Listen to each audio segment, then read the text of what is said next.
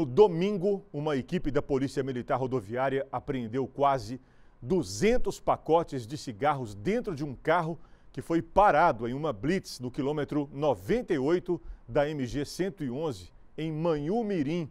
O motorista contou que a mercadoria foi comprada em reduto e não tem nota fiscal, por ser de origem industrial do Paraguai. Os 1.850 maços de cigarros embalados em 185 pacotes de diferentes marcas foram apreendidos e um homem preso pelo crime de descaminho.